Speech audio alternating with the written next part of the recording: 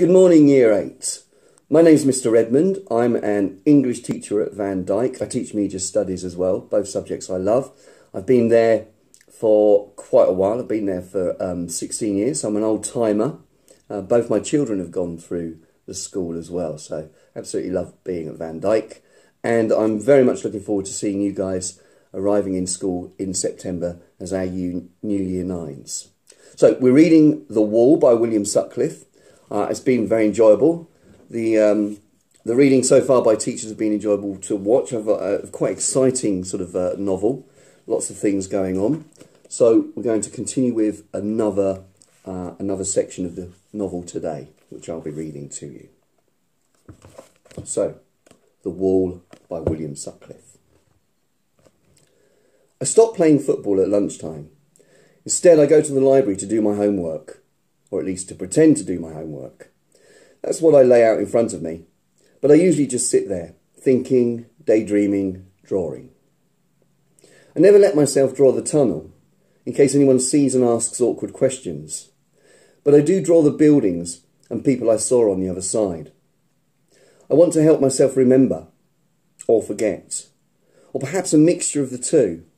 I don't honestly know why I keep on drawing these things, but it's what always seems to come out of my pen. The ragged streets, the puddles, the water tanks on every roof, the wires everywhere. A few faces, and that girl. Again and again, her thin, serious features, her stick-like arms, her blazing eyes. Just how thin was she? I draw and draw, but I can't get it right.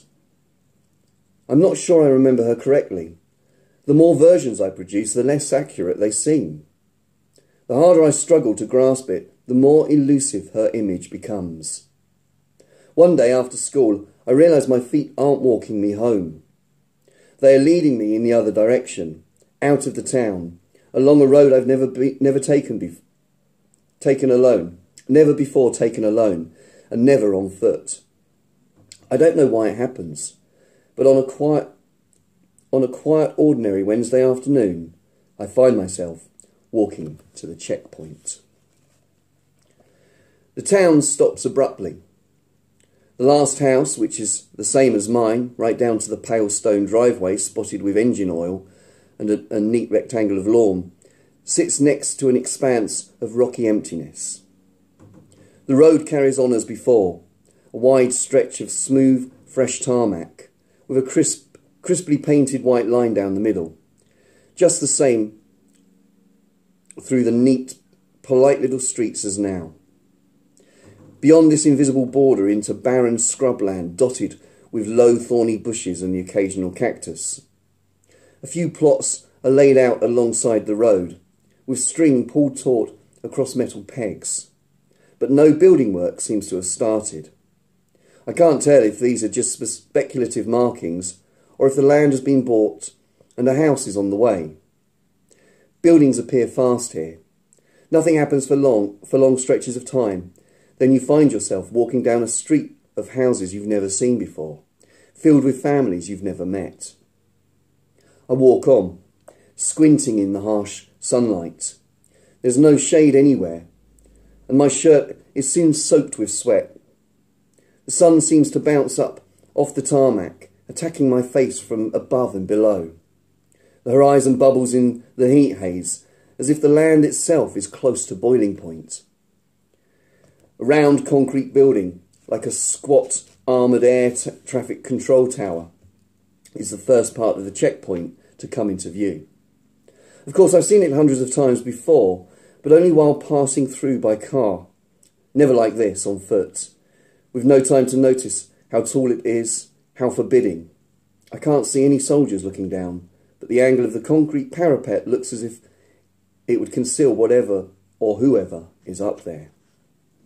Under the tower is a tangled thatch of razor wire, trailing over the whole area where the wall expands out into a zone of warehouse-like corrugated iron huts, metal fencing, steel gates, and dense, seemingly random scatterings of concrete roadblocks. As I get closer, I see the road where cars from my side cross, cross the wall. One bored looking soldier is waving everyone through unimpeded. Just the colour of your number plate is enough to get you through with only a brief pause. Everyone in Amarias has yellow, yellow number plates, and if you are yellow, you can get through any checkpoint or roadblock without being held up. Number plates of cars from the other side are white with green text, and those are the pulled and those are pulled over and searched. I can see one family seated silently on a rock beside their car, whose doors, boot and bonnet are open, while a pair of soldiers, young-looking guys, 18 or 19, examine the upholstery in the engine. Through a separate gateway, I see the traffic moving in the other direction. A trickle of vehicles, mainly lorries and old cars, one at a time, like drops le leaking from a tap. A fenced pedestrian pathway emerges to this gate, carrying a steady stream of people. Most of them seem to have similar expressions on their faces, distant, wary, as if they hurry out and walk, as they hurry out and walk towards a concourse where swarms of minibuses gather and leave, rapidly and efficiently sweeping people away from the looming wall. All the buses seem to start in this one place. None come through the checkpoint. I know from maps how the wall follows a looping, circuitous, circuitous route that makes no apparent sense. I'd heard rumours that people from the other side often had to cross over just to get from place to place within their own territory. It certainly looks that way from the, from the movements I see here, with everyone who comes through seemingly Im, seeming immediately to set off elsewhere. No one walks up the road where I am, where I am standing, towards Amarias. Behind me, I notice a rocky outcrop, as high as the wall. I climb it, scampering up the hot, crumbly surface on all fours, in the hope that I might get a view of the other side. A tiny cascade of stones skitters down in my wake. From the top, I can't see much more than a jumbled tangle of rooftops, covered with those familiar water tanks, but from one vantage point, an angle through the gateway in the wall gives me a glimpse of something I've never seen before. The approach to the other side of the checkpoint, an area shielded from the view of passing cars by a large welcome to Amarias hoard, uh, hoarding. My view isn't much more than a narrow slice, but it's enough to make out a network of metal cages, like something for funneling livestock. Each cage is as wide as one person, with thick metal bars left and right and above. A long snake of men, women and children fills each cage, shuffling slowly forward in single file, held back by remotely operated turnstiles, which seem to be allowing them through one at a time.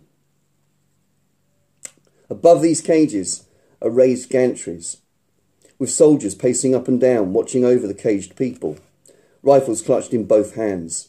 I can make out a low bunker made of the thickest concrete I have ever seen, which looks as if it contains more soldiers, presumably the ones operating the turnstiles. The front of the queue leads into a building with a, a metal roof. I can't see what happens in there, or guess how long people are stopped before being allowed through the wall, but I can see that the queue is lengthy and slow moving. Looking again at the faces of people hurrying out and making for their buses, I see something else. Something I haven't noticed before. An expression poised between patient, patience and rage, weariness and defiance, pride and helplessness. I sit and watch, unobserved. I think again of the boy who spat on me remembering the feeling of his clammy saliva spattering on my cheek, into my cheek and eyelid. A memory still nauseating and repugnant, but now not quite so baffling. I'm not sure if this is what I expected to see. I haven't particularly thought about the checkpoint before, about how people get from one side of the wall to the other. So I don't really have an alternative vi vision in my mind that this could either confirm or contradict. But as I watch, I feel a curdling, clenching sensation in my stomach. It's strange enough just to sit and observe, knowing how often I've driven through without the slightest hindrance. More bizarre is the knowledge that soon I won't be I won't be just a spectator. It isn't long before I'll be a soldier, possibly one of those soldiers, sitting in a bomb-proof bunker and operating an electric turnstile, or walking that gantry with a rifle pointed down at a caged line of people. If you refuse, you're sent to prison. I want to leave the outcrop, but I feel paralysed by what I'm seeing, transfixed by the fates, faces coming through the checkpoint. Only as the light begins to fade do I climb down and head home, walking fast yet mindlessly through the town, barely seeing the streets around me. The row after row of identical houses, the neat little buildings with their neat little windows, and red tiled roofs like something flown in from an American TV show, and randomly plonked there, through thousands of miles, though that plonked there, thousands of miles away, on a barren hilltop. Everything in Amarias is so new, so fresh, it's almost as if a magic spell has conjured it, conjured it up out of thin air, and no one seems to find this strange. No one seems to worry that there might be some other spell somewhere that could make the place disappear as quickly as it, as it appeared.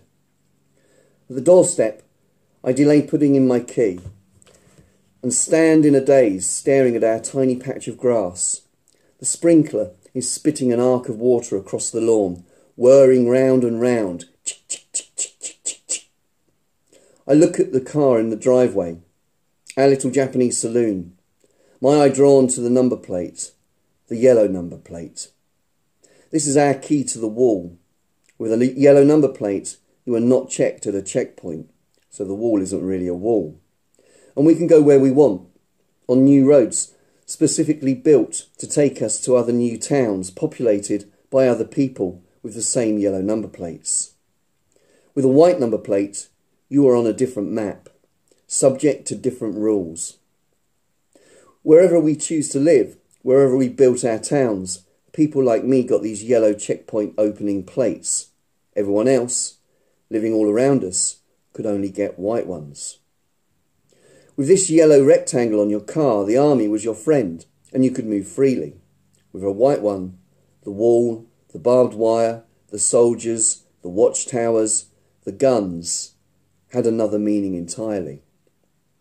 I turned away from the car, not wanting to look at it any longer, but confronted by my front door, I freeze. Like an actor with no lines in his head, scared to go on stage. I feel as if I have a part to play, a role I've been assigned, but I can no longer remember what it is. Mum opens the door. What are you doing? I work my tongue around my mouth, looking for words. I couldn't find my key. It's in your hand. I got it just now. It was in the wrong pocket. She frowns, and I can see the next question forming on her lips, so I put my head down and walk in heading straight for my room. I can hear her voice behind me, asking what happened to my face, bleating about sunburn, but the sound of it gets pleasingly quieter as I walk away, and is reduced to almost nothing when I close my door. I feel strange later as I sit down for dinner, as if I'm not quite myself, and the room around me isn't the room I'm used to. I think of how the rows of identical houses seemed vaguely unreal after what I saw at the checkpoint. And now the inside of my own living room has a strange glossy quality to it, like something up on a stage. It feels like a room pretending to be a room, with possessions placed in it to keep up the act. I look around at the bookcases and the jaunty paintings on the red walls, the plump sofas, the mauve light fittings, the plasma TV, and not one thing I can see feels like it is mine. A man speaks, and it's Liev, the man who pretends to be my father, sitting at the table that pretends to be a dining table in the house that pretends to be my house. He rushes through the blessings and carves out a skeleton-like rack of lamb. Putting down the knife, he turns to me and examines my sunburn. It's unusual for Liev to, to look at me like this, as if he's really looking. So what happened to your face? he says, smirking. What's happened to yours? is the obvious answer, but you can't say things like that to Liev. He'd get so angry, his head would explode. Pieces of bread would fly everywhere. a storm of hairy spiders. Instead of brain, millions of prayers would fly out, in, out on tiny bits of paper, like confetti. I can picture it. Cheeky comment, red nose, bulging eyes, pulsating veins, boom, flying spiders, prayer confetti. I just shrug. You have to be more careful, says Mum. Skin cancer's not a joke. Knock knock, I say. What? Who's there? Skin cancer. Stop it, she snaps. You're right, I say. It's not a joke. What's he talking about? Says Liev to Mum. She shakes her head and cuts her meat. So where did you go? says Liev. Your mother says you were late again. I chew and chew and chew. The lamb turning leathery and dry in my mouth. If you magnify a virus a hundred thousand times, you get a big fluffy ball that looks like a mouthful of chewed lamb. For a while, I think through the lies or excuses I could use, then decide not to bother. I feel weird, almost weightless. As I say casually, the checkpoint. Liev's knives, knife clangs against his, his plate. Is this another joke? He says. What, like skin cancer? Such a smart guy. Always the smart guy. I leave her a hunk of lamb away from the bone, not looking at him. The fat stretches into transparent string, stringy gunge before it snaps and gives way. I just hope you're joking, he says. You didn't, says Mum. Why would you do that? It's not safe. How can it not be safe? It's crawling with soldiers. Ignore him, says Liev. He thinks he knows everything, and we'll see where that gets him. Did you go there? says Mum. He's just trying to shock us, says Liev. Don't give him the oxygen. I'm warning you, says Mum. We lock eyes, and I can see that she doesn't know what she's warning me against, or what she's threatening me with, or who I am, or what I want. It's as if we're looking at each other through a pane of glass, like you see in prison movies, when your visitor's right in front of you, but you have to talk on the phone. For an instant, I feel sorry for her, and I can see her reading my thought. I'm not sure which one of us is the prisoner, which one is the visitor. I give her a little half smile, and she half smiles back, but there's something so pleading and desperate in her expression that I have to look away and turn back to my food. Eventually, I escape the table, having forced down half a plateful of the ma- of main course and refuse the dessert. It's only the excuse of a homework backlog that gets me away. All evening I stare at my school books, but the text swims incomprehensibly in front of my eyes. I can't focus. My thoughts just slide again and again back to the checkpoint, to the cages and guns and razor wire, to the checkpoint and the girl. I have two homework deadlines the next day, but I can't write a word. As the time reaches nine, then ten o'clock, and I realise I'm never going to finish or even start, it occurs to me that tomorrow I will be punished. But this idea seems ridiculous. The word punished feels like a joke. In bed with the light off, long into the night, the same thing, on and on. The checkpoint, the cages, the guns, the razor wire, the wall, the lines of people and their clenched bitter faces. The girl.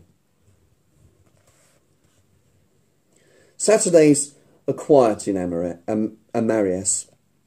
All the shops shut. Barely a car moves on the streets. Liev doesn't even like me going outside with a, ba- with a ball in case the neighbours, or God, are watching. Liev always turns his armchair, which usually faces the TV, towards the patio doors. He unlocks the glass-fronted cabinet which looms over the dining table takes out one of his big leather-bound texts and sits there for hours on end. The book stays open on that chair all day and no one else is allowed to touch it. even when Liev is doing something else. If someone visits, the chair still stays like that, facing away from the room, so people know they are interrupting. Liev knows I'm never going to be like him. And he gave up trying to fix me years ago. My job on Saturday is to catch up on my homework while trying to avoid expiring with boredom. As long as Liev doesn't see me working, he doesn't mind. And since his chair is always pointing outwards, he doesn't see anything. Perhaps that's the point. As long as I don't touch the TV, he isn't too bothered with what too bothered what I do. At the end of the day, the book goes back on the shelf, the cabinet doors are locked, the chair is, is turned back towards the room, and we eat. It's the slowest day of the week, with every hour, every minute dragging on, as if someone's filled all the clocks with treacle. But this Saturday seems to crawl past in it at its usual speed, and also somehow vanish in a flash. I spend the whole day in my room, and at the end of it all, none of my homework has been finished. I don't want to, I don't know what I've done or where the time went. I've drawn a perfect spiral on a page of, of maths paper just by colouring in the tiny squares. I've done an exhaustive study of which stoins, coins can stand on their edges for the longest times on a variety of surfaces, and I've pe peeled an invisible shiny layer off a history textbook without making a single tear. So it still looks the same, just not shiny anymore. As for my actual work, nothing. We eat dinner in near silence, with a strange tension ho hovering over the table. Mum clears the metal, clucking disapprovingly at my half-full plate. She goes backwards and forwards from the kitchen, taking away the plates, glasses and cutlery. Taking away the plates, glasses and cutlery.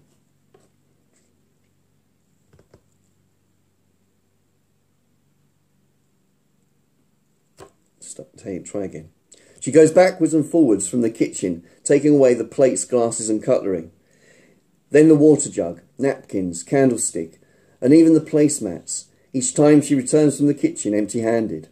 Liev watches, not moving from his chair, breathing noisily through his nose. I hear the scrape and clatter of leftovers going into the bin. A splash as the water jug is emptied into the sink. Eventually, she returns and sits. There's no dessert. The table is bare.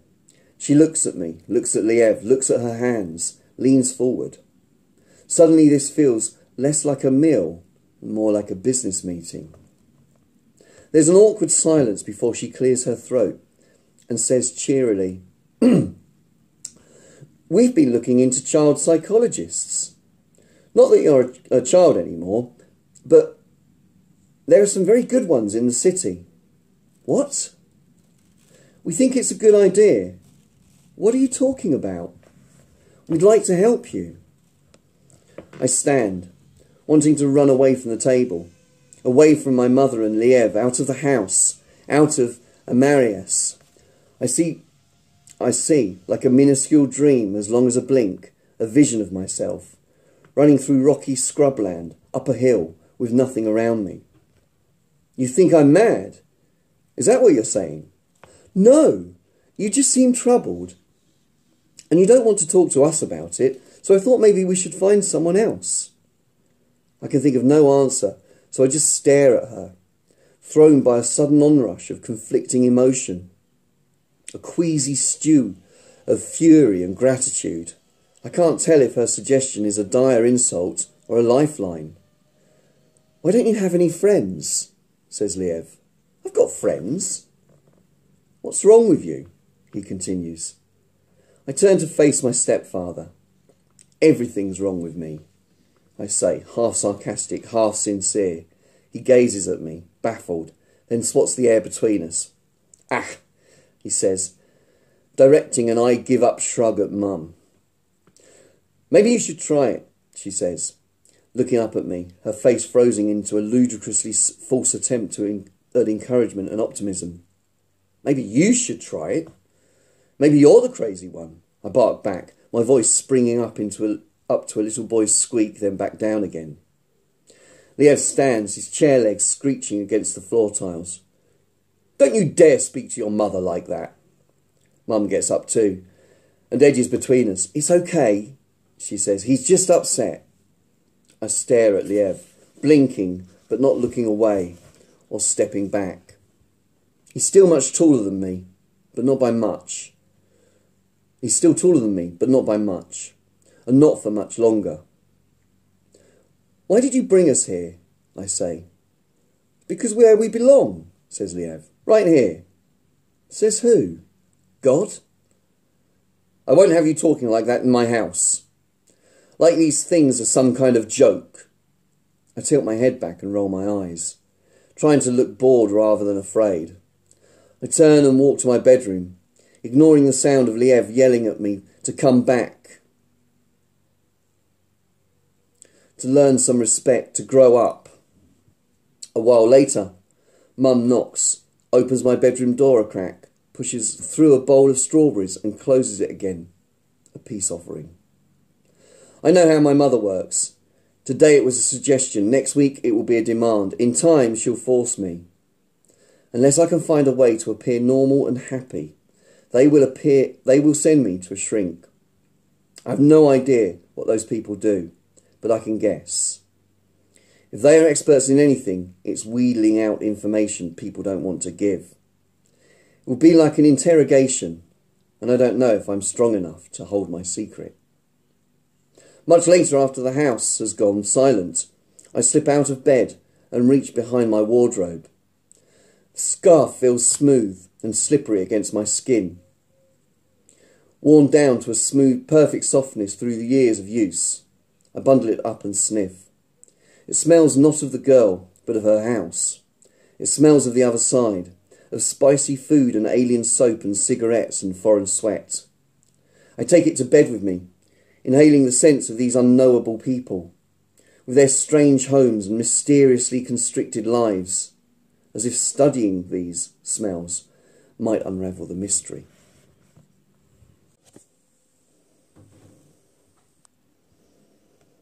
All the time I've lived here, I've been told stories about the enemy and what they want us to want to do to us and how only our army can stop them. Everything about Amarias, about the way it's built, where it's the way it's built, where it's built, the wall, the soldiers, the checkpoints, springs from this story. If you doubt this, your whole world dissolves. In Amarias, if you don't know who your enemy is, you don't know anything at all. I twist the scarf round my hand, watching my fingers redden then goes then slowly go purple. The skin under the nails fades to a ghostly white, and my pulse begins to tingle in my fingertips. That girl, this girl, who saved my life using this scarf, was she the enemy? Was she my enemy? I realise the twist on the scarf. I release the twist on the scarf and feel the blood pressure in my hand equalise. My sausagey fingers quickly return to normal. I think of my father and how he wouldn't allow me to see him in uniform. I never understood why, and I'm not, and I'm still not sure. But this memory seems like a droplet of sanity within a drenching storm of confusion. As I think of him, heading off for his military service in his t-shirt and shorts, with his huge green army bag slung across his shoulders, it strikes me for the first time a thought as crisp as the chime of a bell that unless I do something myself to fight the shame and guilt that's haunting me, I might be crushed by it. Like the sensation of blood flowing back into my whitened fingers, I feel some strangled, starved essence of myself refill and revive as I realise what I have to do. My bag is packed and ready. One, two bags of rice, two bags of pasta, one bag each of lentils, chickpeas, walnuts, hazelnuts and pine nuts, a packet of ginger biscuits, two bars of chocolate, three tins of soup, two each of chopped tomatoes, tuna and sardines, a jar of honey, one bag of flour, one of sugar. Most of it I have taken gradually, over a fortnight or so, from Mum's larder, picking out spares and doubles that were hidden underneath things. never taking more than a couple of items at any given time. The rice, pasta, flour, and sugar I have bought partly with my savings, partly with a banknote I found inside Mum's purse. I picked them up on the way home from school, and during homework time transferred them from my school bag to a hiding place. Underneath the winter clothes in the bottom drawer, underneath, in a hiding place, underneath the winter clothes in the bottom drawer of my wardrobe. This amount of food is as much as I can hide, and probably as much as I can carry. 2. Change of clothes. Bought from a charity shop during a visit to see my aunt in the city. Now I've seen what people wear on the other side, it wasn't hard to find something that will allow me to blend in. It's not radically different, just old jeans, scruffy shoes, and a baggy t shirt.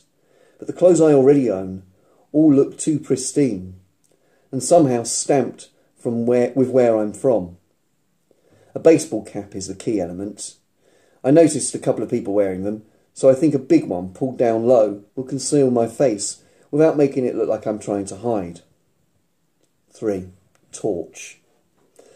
The size of a marker pen, doctored with a few stripes of packing tape around the middle, like a belt with a dangling end. The idea is that I'll be able to pull the loose flap of packing tape, put the loose flap of packing tape in my mouth and cast some light ahead of me, but still have both hands free for crawling. Map. 4. Map. It's easy enough to find one in the one on the web and print it out. Not so easy to locate my start or end point. After studying it night after night, rehearsing in my mind the route the girl took to walk me back to the tunnel, I draw on, in pencil, an educated guess as to where I might I think I might emerge. Where I expect to find the Flying Cake Bakery. My path along the main shopping street, and the three turns that should take me to the girl's home. The map is only a safety net. I've committed as much of it, of it as I can to memory, and plan not to look at it anywhere in the open. I can't risk be, being seen reading a map. The last thing I do before putting it in the bag is to rub out my route. 5. The scarf. 6. The flip-flops. 7. Four plastic bags. Plain, with no writing or logos. 8. Football kit. To be placed over the top of the numbers 1 to 7 in case mum glances in the bag before I can get out of the house. I don't feel any fear until the moment I find myself standing on top of the dumpster about to climb into the building site. The fringe of splinters sticking up from the top of the hoarding is the first thing to remind me that this isn't just an adventure, a lark. The feel of that jagged wood sticking into my flesh comes sharply back to me, sparking off a chain of half-forgotten memories. The sour, eggy smell, the envel enveloping darkness, the clammy soil against my palms, my breathless gasps echoing ahead of me like water slithering down a plug hole. I thought I'd remembered my fear, but it's clear that the truth about going under the wall has slid away. The memories I've been carrying around like around are like an outline, a dot to dot of the real thing. And only now, near the entrance to the actual tunnel, about to go through, do I feel the image filling itself up, filling itself in. Up close, the sheen of, of excitement evaporates, giving way to a sickening sensation in my throat and belly. This was fear. Dark, fierce, and chilling. I knew my resolve was bound to falter at some point, and I prepared myself for this moment with a short loop of invented footage, staged like an interview. My father looking at looking at out at me, telling me to be brave and carry on, telling me I'm doing the right thing, reminding me how much I owe the girl and what it would mean to ignore this debt. I stand there on the dumpster with my eyes closed and watch it once, twice, three times. When my eyelids pop open, I'm ready to carry on. Seeing how high it is from the dumpster to the top, I realise I can't get over the fence carrying the bag on my back. With the added weight, I won't be strong enough to pull myself up just using my fingertips. I lower the bag off my shoulders and swing it like a pendulum back and forth until each swing is up to shoulder height. Then, with all my might, I toss upwards, It hits the top, teeters, then clatters down noisily on the other side. I didn't design the package for such a long fall, and it seems unlikely that it would have landed undamaged. I should have chosen better. A jar of honey was a bad idea. I hoist myself up on the, onto the fence, and without pausing to look at the demolished house, climb down to examine my bag. I yank the zip open, pull out the decoy football kit and chuck it aside. As I feared, the honey jar has smashed. The only other breakage I can spot is the bag of sugar, which has split. There's no time to worry now, now to worry about the honey or to clear up the mess. I quickly strip, toss my clothes on the ground and put on the outfit I bought at the charity shop. A sticky streak is smeared across one thigh, but I look okay. I look ready for the other side. I lift the bag onto my shoulders and hurry towards the tunnel, grabbing a quick glance at the demolished house. It's still there, just how I remembered. I knew it would be, but I have to check. Even when something's real and right in front of you, it can still be hard to believe. The hatch is squarely in place over the hole. Was that how I left it? Did I move it back into position after I climbed out? I can't remember. Footsteps crisscross the area. People have come, come and gone, but when, I have no idea. I shunt the metal aside with two hands and lie on my belly, staring down into the darkness. There's nothing to see and nothing to hear. If anyone is down there, they are still and silent. My nostrils take in a dank, sour waft.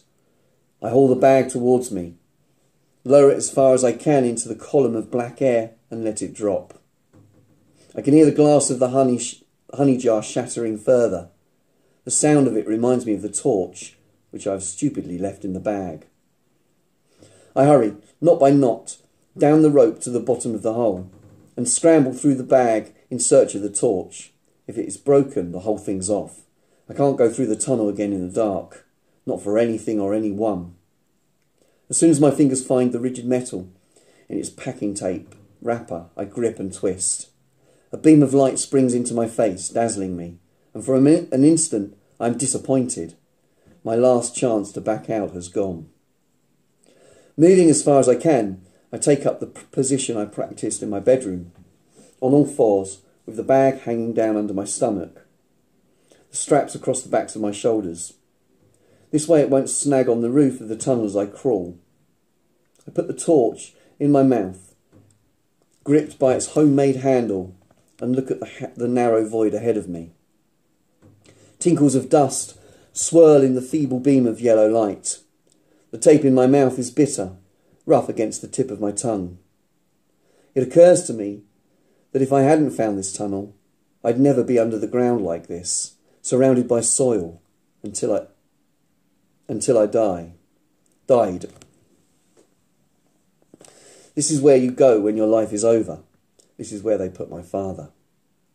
A memory spirals, spirals into my mind of his funeral, of picking up the spade from a con conical pile of soil, tossing in my three spadefuls, the thunk, thunk, thunk, as the sods of earth landed on the coffin, each one a little less woody than the last, planting the spade back in the soil for the next person. Only my mother ahead of me, a long queue of mourners behind. To one side, a row of soldiers in full uniform, heads bowed, armed.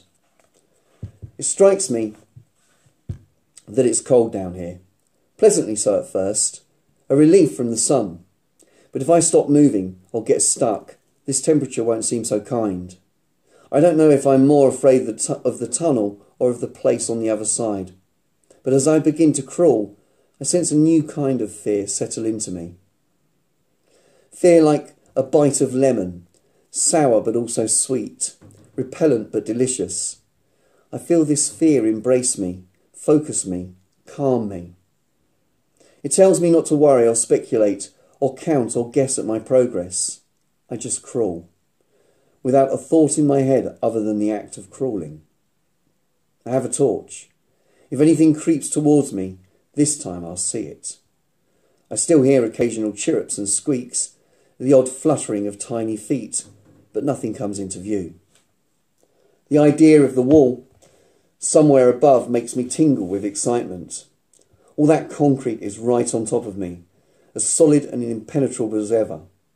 Yet I'm almost magically passing through to the other side with nothing to stop me. As I shut myself forwards, the tins of food swaying and clanking under my belly, I notice a new thing about the tunnel. The smell isn't constant.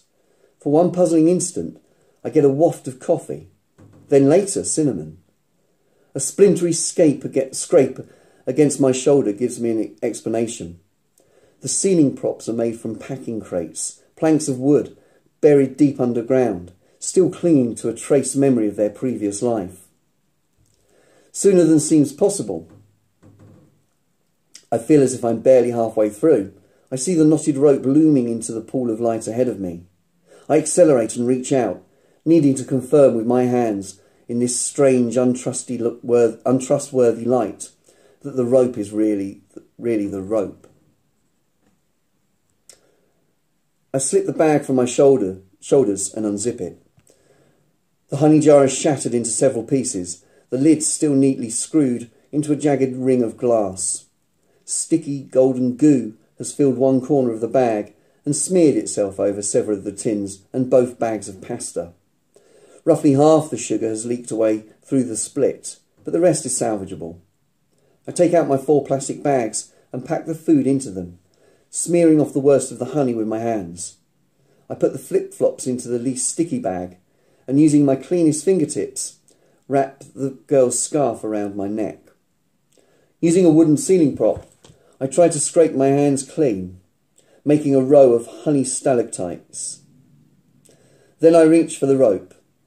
I climb as quickly as I can, leaving everything at the bottom, and push the trapdoor aside.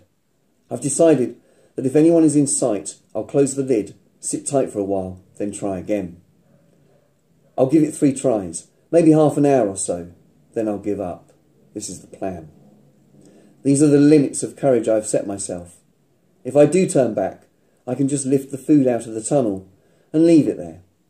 Someone will find it, someone will eat it. But now, thinking of the boys who tried to attack me, who might be up there looking out for me again, I remember that the tunnel seemed in some way to be theirs. If I leave any food in or near the tunnel, these are the people who will get it. Maybe even the boy who spat on me, the boy who looked like he was ready to kill me. Did I really want to leave a present for him? Perhaps he'd see the text on the labels and know where it was from and wonder if someone from the other side had come, come to help. Perhaps. No. I couldn't imagine my way into their heads. I will never know what those boys think, beyond that they despise me and would be happy to watch me die.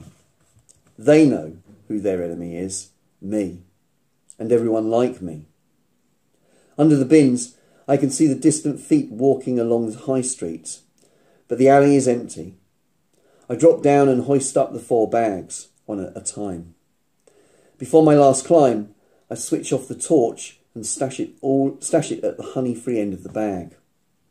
Crouching at the tunnel entrance, I push the hatch back into place. Before standing upright, I look in each direction once more, towards the street, towards the chain link fence, up at the apartment windows above me, along the spray painted edifice of the wall. Then I loop my sticky hands into the plastic bags and set off. With the cap pulled low and my chin angled downwards, my face is obscured from the view of anyone taller than me. I choose my pace carefully, fast enough to make quick progress, slow enough to appear unhurried. I look around casually and infrequently, as if I'm familiar with my surroundings and know, and know where I'm going. At the alley exit, alley exit, I glance up at the Flying Cake Bakery. this is my lighthouse, the only landmark I know, the beacon I'll be relying on to get me home. The same old man, sitting on the same plastic stool, is positioned in his doorway, still fiddling with the same cigarette lighter. He catches my eye for a moment, but doesn't seem surprised or interested. I turn right and walk, struggling under the weight of my bags, the plastic handles cut into my fingers. But with the load distributed evenly on both sides, there's no relief to be gained by swapping hands. The muscles across the top of my shoulders feel like taut cables, pulled almost to snapping point. I decide to allow myself a quick pause every couple of minutes, and to use these rests as the moments moment to look up and gauge my position. While on the move, I just force myself onwards with my head down. First rest. Still on the main street. On my left, a man with no front teeth standing behind a cart, arrayed with soaps, wallets, toothpaste, batteries, and a heap of cellophane wrapped remote controls. Distorted music blares from tinny speakers behind his head. A high, mournful, slippery voice. I vaguely remember the look of the stall. Still on course. Second rest. Same street. In a gap between a woman selling small gnarled aubergines from a wooden box and a shop festooned with brightly coloured ankle length coats. I avoid looking at the aubergine woman, sensing that I'm being watched. Up ahead is the first turn off to the right. This is the one marked on the map, but it feels too close to the tunnel and doesn't look right. I decide to keep going. Third rest. The next junction. There's a food shop on the corner selling cheese, milk, and yoghurt from a glass fronted fridge out at the street. I think I remember this, turning here with the girl. A man hovering in the doorway wearing tight pale jeans says something in my direction and takes a few steps towards me. So without looking up, I gather in my bags and hurry down the side street. Fourth rest. Dusty crossroads in the residential quarter. This is different from my penciled route which involved a quick left right which involved a quick left right at a T junction, then a fork. Two men shoved past carrying a long bundle of copper pipes. They almost knocked me over, but I duck out of the way just in time. My cap falls off, but I get it back on fast. Bad idea to stop here. I take the turn, the left turn. Fifth, ref, fifth rest. My mental map has dissolved now, bearing no relation to the place around me. Is this the second of the two quick turns? I allow myself only enough time to get some sensation back in my fingers, then take a right, then take a right, plunging blindly on. Sixth rest. My shoulder muscles are trembling, my fingers stinging. This feels like the correct distance, but nothing looks right. I'm searching for a green front door with a square iron knocker. I remember it clearly. Or there's the black motorbike I hid behind, which should be parked in front of the house. Now I strayed from my route, as I'm as now I strayed from my route, I'm as good as lost, except for a mental thread I'm clinging to onto, the route back to the main road and towards the bakery. I decide to keep going until I feel this thread weakening. The second I think I might be losing track of the way home, I'll just dump the bags and turn back. Seventh rest. Close to giving up. I know this street is wrong. In front of me is a yellow painted building set back from the street, which I'm sure I've never seen before. No one seems to be around, so I give myself a longer rest, then turn round. I hang on to the bags, but head back to the main street. Eighth rest. A green door, but no square knocker, no shutters on the window. I remember shutters above me when I looked up at the girl from my hiding place, Looking around, I see a whole street of green doors. This feels right. I pick up the bags and carry on. Ninth rest. An iron knocker, but not square, round. Shutters, but no motorbike. Could I have misremembered the knocker? I step towards the, the window and look at the ground, which is scattered with square indentations. The bike stand. I remember, inches from my nose as I hid, the motorbike was supported by a metal stand. Stepping closer, I see a few small black circles just visible on the grey ground. Oil stains. I look again at the door. Three steps up from the street. Yes, that's the door. With the bags at my feet, I look at the house. This is it. My scheme has worked. But as I stand there with my heart pounding, I realise I now have no idea what to do. My plan ends here, as if I were making an ordinary delivery to an ordinary family. But staring up at this doorway, I'm struck by the risks involved in knocking. Quite aside from the possibility this might be the wrong house, it's clear that someone other than the girl is likely to answer the door. What then? How will I explain myself? And if the girl isn't at home, what reception will I get? What would they do to me, a boy from the other side with the missing scarf and flip flops, a few bags of food and no language to explain anything? I'd be at their mercy. The girl helped me, but the rest of her family might hate, on, hate me on sight, like the spitting boy and his friends. Every muscle and tendon in my body seems to slacken as I feel all confidence drain from me. My plan suddenly looks stupid, foolhardy, lethal. But I've come this far. I can't just drop everything and run for it. Not now. The urge to flee, to get myself back to the tunnel and home, tugs me away from the green door, hauling me backwards. But if I don't want my efforts to be wasted, I know I have to be at least I have to at least pro- approach and leave the bags on the girl's doorstep. They might be stolen, they might not. But either way, if I do this, I'll know I tried my best. I inch towards the threshold and put the bags down as quietly as I can. Knock and run?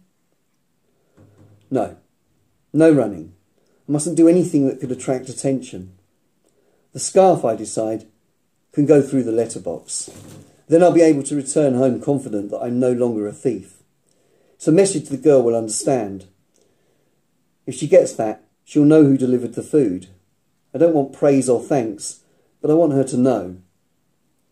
The letterbox is small, with stiff springs, but the scarf fits through if I stretch it out and feed it in little by little.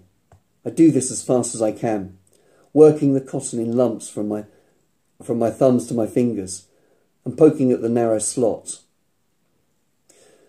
I've almost finished when the door springs open, giving way in front of me, toppling me forwards. I straighten up as fast as I can and find myself looking into the angry bearded face of a man who looks a little older than Liev. This has to be the girl's father the owner of the scarf which is now hanging from the letterbox. He says something to me, a string of harsh, guttural words I can't understand, and I realise that given the choice between attempting to explain myself and running away, there's no contest. I promised myself I wouldn't run on this side of the wall. But this man, the look on his face, changes everything. It's time to run. I turn on my heel and bend my knees poised to jump down the street.